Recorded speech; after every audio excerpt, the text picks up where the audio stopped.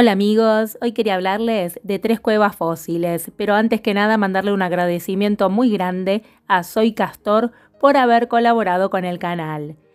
En estos días se cumplieron 30 años del establecimiento de la cueva del Milodón como monumento natural en Chile. El Milodón fue un mamífero de gran tamaño, que llegaba hasta los 2 metros y medio y pesaba cerca de 3 toneladas. Pariente de los actuales perezosos, armadillos y osos hormigueros, habitaba las laderas con bosques en los cerros patagónicos, principalmente en la zona sur de Sudamérica, entre Argentina y Chile. Su nombre se debe al biólogo y paleontólogo Richard Owen, que estudió un maxilar inferior prácticamente completo, con molares incluidos, que había sido encontrado por Charles Darwin en 1832 durante el viaje del Beagle. Owen utilizó los términos griegos milos, moler, y odon, diente.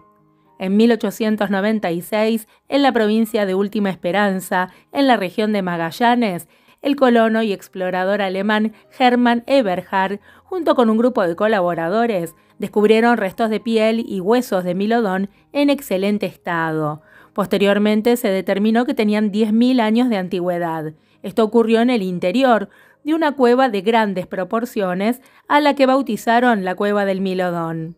Poco después, el geólogo y geógrafo sueco Otto Nordenskjöld encontró más restos en el mismo lugar. Este último fue el que divulgó la noticia en Europa y el resto del mundo, cautivando de inmediato a la comunidad científica. Y por último, en 1993 fue declarada monumento natural. La cueva del Milodón está formada por tres cuevas, la más grande es la más conocida y visitada. Además del conglomerado de rocas del lago Sofía, de la cual forma parte la Silla del Diablo. Esta zona estuvo cubierta de hielo durante la última expansión del glaciar cuaternario, hielo que fue retirándose progresivamente hace unos 20.000 años, dando paso a un lago. Su fuerte oleaje habría erosionado el lugar, dando origen a la cueva. Respecto a la extinción del milodón hay cuatro hipótesis. El cambio climático, que puede haber cambiado la vegetación de la que se alimentaba, que haya sido cazado hasta su extinción, la actividad volcánica y finalmente que estas tres causas se hayan combinado entre sí. La cueva del Milodón, también llamada Gruta Eberhard, hoy es un punto de atracción y turismo imperdible, superando los 100.000 visitantes anuales. Además, se encuentra solamente a 60 kilómetros al sur del Parque Nacional Torres del Paine. Mide más de 80 metros de ancho, 200 de profundidad y 30 de alto. Y en su entrada hay una réplica del Milodón, además de un museo con la historia paleontológica del lugar y del animal. Nuestra segunda cueva es una verdadera paleocueva, ya que fue cavada por el propio animal. En Mar del Plata, en la provincia de Buenos Aires, la Argentina, se encontraron cuevas interconectadas, restos de un tiempo donde no había calles, avenidas, comercios ni turismo, y había grandes animales que caminaban sobre una geografía de pantanos. Lejos de ser solamente pozos, estos refugios eran complejos sistemas de galerías que todavía sorprenden y maravillan a los paleontólogos.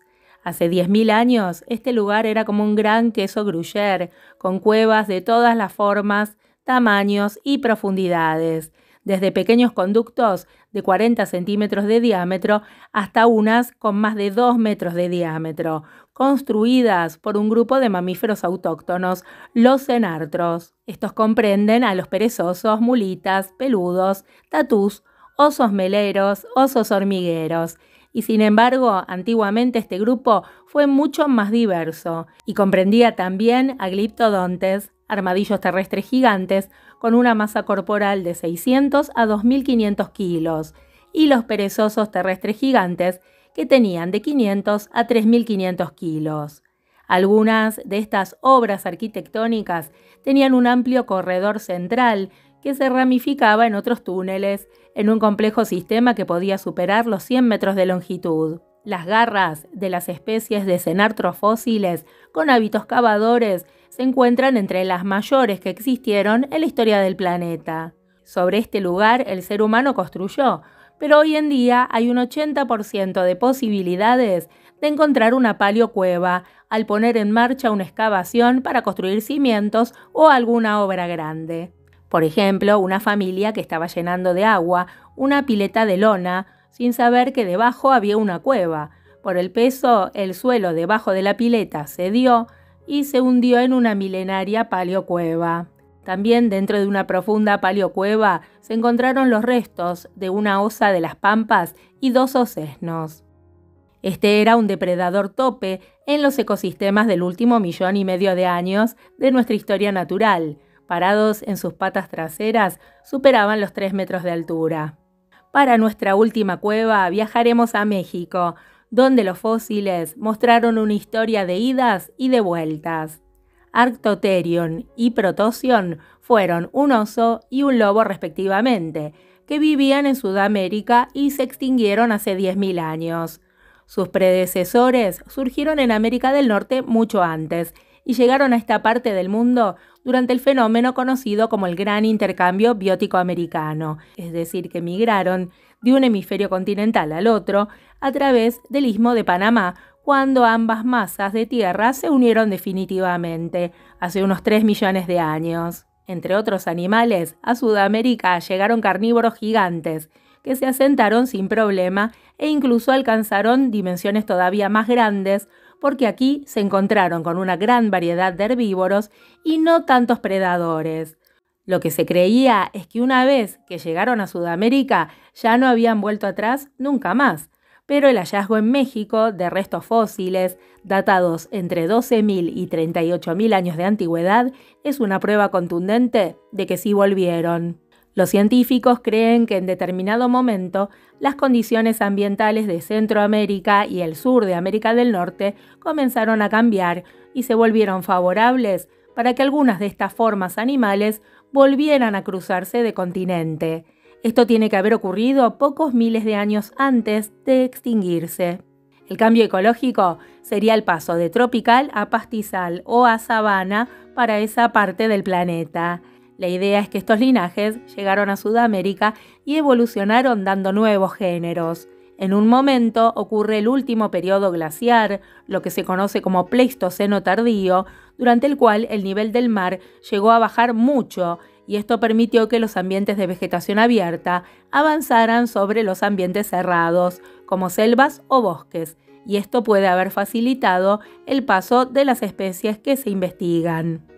En este caso, los materiales se preservaron de manera increíble porque estaban en una caverna submarina muy intrincada, que fue favorable para la conservación, ya que no había animales carroñeros cerca, ni movimientos de agua que pudieran erosionarlos o moverlos. La identificación también fue sencilla porque estaban muy completos.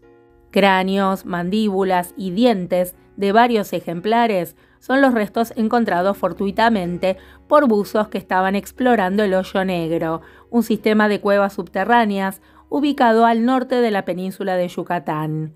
Los Arctotherium llegaron a pesar una tonelada y medir cuatro metros y medio estando erguidos, mientras que los lobos, pertenecientes al género Protosion, rondaban los 25 kilos.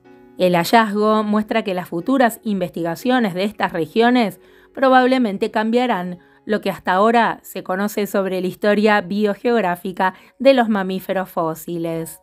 Bueno amigos, espero que les haya gustado el tema que les traje hoy y si fue de esta manera, volvemos a encontrarnos muy prontito. Cuídense un montón.